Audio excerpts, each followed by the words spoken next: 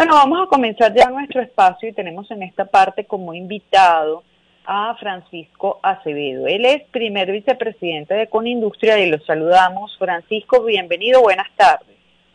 Buenas tardes, Maripiri. Buenas tardes para todos tus escuchas. Encantada de, conversar, encantada de conversar contigo. Queríamos pulsar tu opinión para conocer qué visión hay desde Conindustria del aumento de salario decretado por el Ejecutivo Nacional y que ya ha sido publicado en la, en la Gaceta Oficial 6.691. Mira, la primera sorpresa es que en las declaraciones del presidente Maduro había dicho que el aumento salarial sería para el sector público. Y en este caso, pues parece que la Gaceta trae como información que es sector público y privado. El sector industrial vemos, vemos que es necesario la recuperación, y lo hemos dicho en reiteradas declaraciones, es necesaria la recuperación del poder adquisitivo venezolano, un trabajo que hay que hacer arreglando la economía venezolana, con lo cual vemos con buenos ojos eh, el hecho que se esté buscando mejorar la calidad de vida de los venezolanos y especialmente. Ahora, estos aumentos siempre deben ser de manera consensuada y buscando un diálogo y unas conversaciones que después nuevamente no ocurren por parte del, Ejecutivo, se hace de manera arbitraria o unilateral, por decirlo así. Y yo te diría que eso lo digo, consideramos que, bueno, que la consulta y el diálogo entre el sector industrial, el gobierno y el área trabajadora, pues siempre podría traer mejores resultados que los que estamos teniendo. Desde la industria estamos tranquilos porque el, sector industrial tiene un salario promedio del día, un ingreso promedio, cercano a los 80, 90 dólares promedio, es el sector que, mejor remunera a los trabajadores.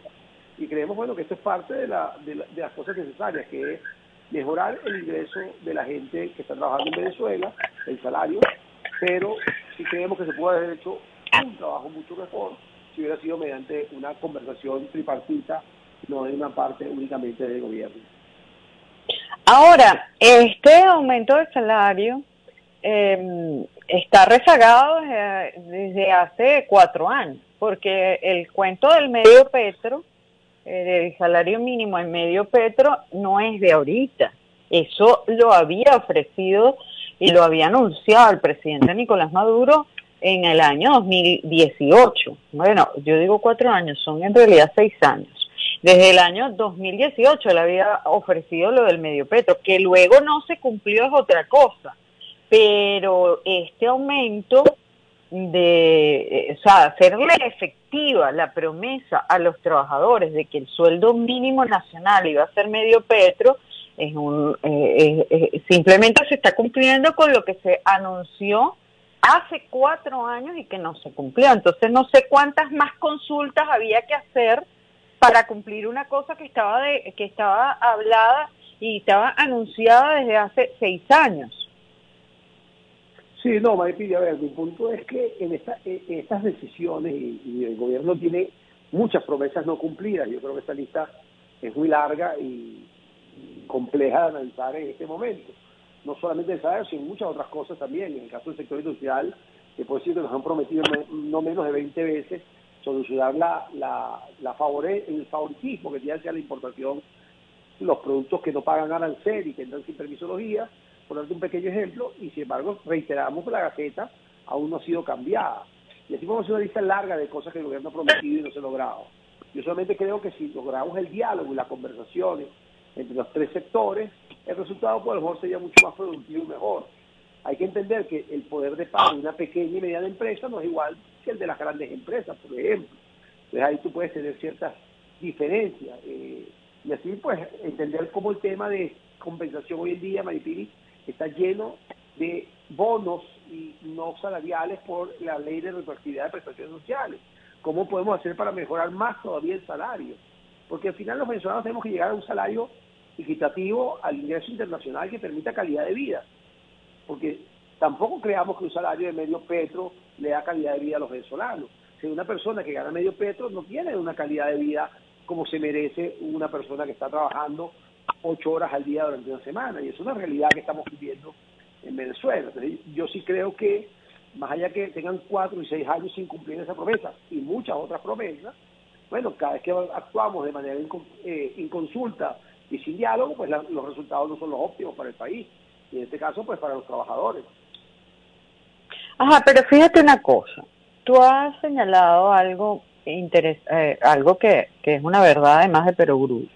Este, 30 dólares, que viene siendo el equivalente al medio petro actual, eh, no es un sueldo para nadie. O sea, la gente no va a salir de la pobreza con 30 dólares mensuales porque eso significa un dólar diario por un trabajo de 8 horas. Imagínate tú, o sea, es realmente, eh, de acuerdo a los estándares internacionales, eh, la pobreza es las personas que ganan menos de un dólar diario, que sería este caso. O sea, que estamos hablando de la pobreza extrema, eh, aún con este, eh, con, con, el hecho de que se se empiece a cumplir la promesa del medio petro, que repito, no es de hoy, esta promesa es del año 2018, que fue cuando Maduro anunció lo del medio petro, solo que no se cumplió.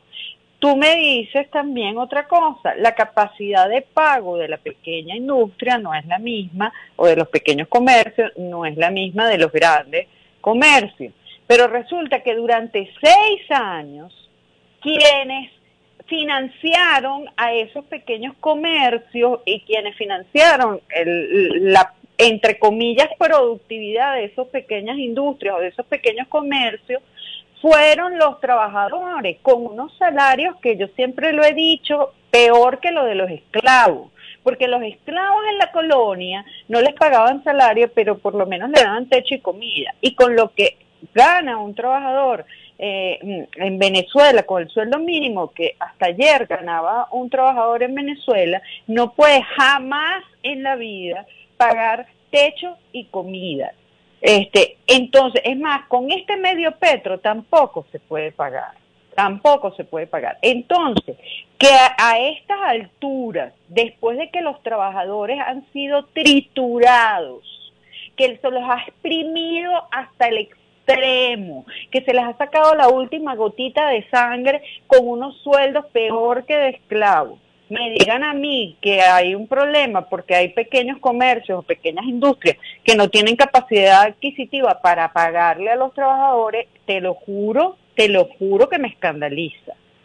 O sea, a mí me preocupa que ese sea el criterio. No, eso no es el criterio y, y explico, te repito, el sector industrial en promedio tiene un ingreso para los trabajadores cercano a los 130 dólares según nuestra última medición viene subiendo el sector industrial en ninguno de los afiliados con industria paga salario mínimo. Es inviable, eso es inviable para cualquier persona. El único, el único que estaban pagando salario mínimo, que estaban retrasados por cuatro años, es el sector público. El sector privado, en raros lugares tú podías ver un pago de salario mínimo, porque es inviable, o sea, nadie está dispuesto a trabajar por esa, por esa cantidad de dinero. En Conindustria, nuestros afiliados todos están por ingresos superiores a los 100 dólares, estamos en un promedio de 130 dólares, tenemos afiliados inclusive en ingresos de 200 dólares. Yo lo que estoy diciendo es que mediante una conversación a lo mejor no de 30, a lo mejor debe haber sido 60, a lo mejor sido 50. Yo no, yo no te quiero decir un monto específico. Lo que estoy diciendo es cuando se conversa se puede llegar a mejores soluciones. Eso es lo único que estoy planteando. Y que indudablemente que si tú conversas con un pequeño industrial, no te va a decir lo mismo si conversas con una industria mediana. En ningún momento podemos estar de acuerdo, ni hemos estado de acuerdo nunca en el salario mínimo. Estamos tan en desacuerdo que nunca hemos pagado salario mínimo en el sector industrial y hablo por Codindustria. O sea, en ningún momento. Y de hecho he sufrido, esto ha sido los, trabajadores públicos que estaban en el salario mínimo en tal caso, o que aquellas personas que cobran el salario mínimo en, organizaciones muy pequeñas o, bueno, yo considero que una persona que estaba pagando salario mínimo, el salario mínimo tenía el valor que tenía, pues coincido contigo, es peor que la esclavitud, eso no, no, no, es una condición humana ni siquiera, ¿no? Eso no está en discusión, en ningún momento está en discusión que hacía falta recuperar los salarios venimos declarándolo reiterativamente con industria. Hay que recuperar el poder adquisitivo, pero mediante la productividad. Tenemos que mejorar la productividad y mientras más mejor la productividad, mejores salarios debemos pagar. Y nuestra meta no debe ser medio perro, nuestra meta tiene que ser llegar a salarios internacionales, a calidad de vida para los venezolanos, eso estamos totalmente de acuerdo. Yo solamente estoy diciendo es, si las cosas se conversan, sale mejor resultado. Ya. Este, ¿Cómo deberían ser esas conversaciones que tú propones? ¿Qué, ¿Quiénes deberían participar y en qué, cuáles deberían ser, por ejemplo, la agenda que se debería tratar o qué temas deberían de acordarse allí? Mira, como se hacía en un pasado, unas conversaciones gobierno, sindicatos, sector privado, eh, empresarios. Para eso están los gremios, para eso existimos los gremios, en el caso de Coindustria, para fomentar el sector industrial, para que el sector industrial tenga un crecimiento del país, y yo creo que Coindustria, con el, con el gobierno sentado trabajando y con el sector laboral, pues podría entender las necesidades de cada quien y buscar soluciones que puedan incrementar los salarios. Yo te decir, por ejemplo, ejemplo, Maripiri, sin ningún tabú, y yo sé que en Venezuela cuesta entender esto. Tú tienes una ley de retroactividad de prestaciones que limita el poder de, adquisición de, los trabajadores. un trabajador le podrías pagar a lo mejor mucho más plata hoy si no tuvieras el impacto de la retroactividad de las prestaciones, pero hablar de que, que vamos a quitar es un tabú en Venezuela. Yo, yo siempre he dicho, ¿por qué no apuntamos a los trabajadores que prefieren ganar 40 dólares con retroactividad o 150 dólares sin retroactividad? La mayoría seguramente va a querer 150 dólares sin retroactividad. Pero entonces creemos que cambiar la ley de trabajo y que ya tiene retroactividad es un daño a las personas, a los a los trabajadores, a los colaboradores. Y eso es falso. Yo no creo que el problema, yo no, yo no creo que el problema de, de los salarios miserables de los trabajadores hoy en día sea la retroactividad. Creo que ha habido otros problemas muchísimo más terribles y graves y viciosos dentro de la economía venezolana que no tienen que ver con la retroactividad. O sea, yo no creo que los trabajadores le pagan la, el salario de esclavo que le pagan a los trabajadores en Venezuela por, por un rollo de la retroactividad. De verdad que no lo creo. O sea, creo que hay otros graves problemas. No, no, a ver, tienes economía que estaba destruida, tienes una improductividad del país, la productividad está en el piso, tienes el sector industrial operando al 30%, eso no está en discusión pero yo te puedo garantizar que el sector privado, el industrial, tiene un problema serio con, ese tema y, simplemente echa números, calcula el impacto que tiene la retroactividad en el salario. ¿Por qué el sector privado se ha ido y el gobierno mismo, el gobierno, el primero, que ha cedido una cantidad de bonos no salariales? Porque está buscando una manera de compensar mejor sin tener un impacto en los pasivos laborales. ¿Y por qué los trabajadores han estado de acuerdo en este modelo? Porque han entendido que un mejor ingreso hoy es lo importante y que debe haber un sistema que funcione a largo plazo. Ahora, me dice a mí que es el único problema. No es el único problema. Es un problema muy importante para poder normalizar los salarios en Venezuela. Muchas empresas están técnicamente quebradas por este tema. Tú crees que es muy pequeño, pero es muy grande. Muy grande el problema. Ahora, hay otro problema de productividad. Trabajar al 30% una industria no es fácil. Cuando la capacidad instalada está al 25, al 22%, no es fácil. Países como Argentina, si hasta el 60 y pico, Brasil al 80%, Colombia cercano al 80% de capacidad instalada, Venezuela está al 25%, al 23% de capacidad instalada. Eh, es un factor que está influyendo indudablemente. Ya, y respecto a las solicitudes que ustedes del sector industrial han venido haciendo al Ejecutivo Nacional, como por ejemplo este que tú mencionas y siempre que te entrevistamos lo mencionas, el tema de los aranceles de los productos que vienen de afuera, u otras solicitudes que ustedes están haciendo desde el sector industrial para mejorar la productividad, ¿qué hay con respecto a eso? Mira, hasta ahora nada, Maripili, siempre recibimos la misma respuesta, que entienden, que, entienden el problema, que están de acuerdo, pero no hay ejecución de, ninguna de las propuestas. Esa es la realidad.